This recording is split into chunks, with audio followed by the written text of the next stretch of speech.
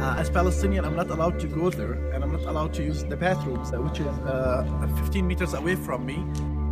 Only settlers are allowed to use the bathrooms, are allowed to go to that area.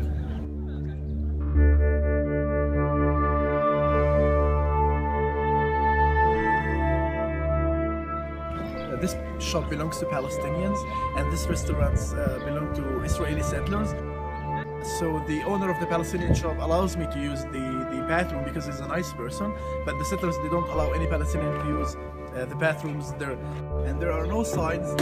If they exceed this uh, this line and go there, I might get shot and killed only because I need to use the bathroom.